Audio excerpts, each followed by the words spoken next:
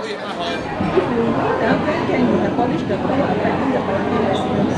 think this is already in, in our in our federal government. We already have the the, the plan but not not in this hundred days, of course. But by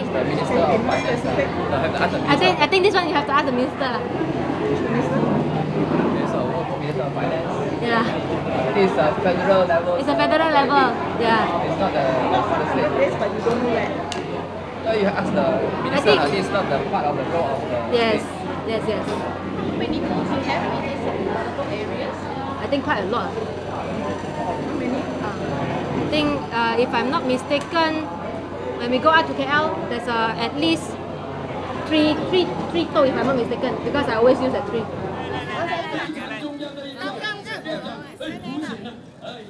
中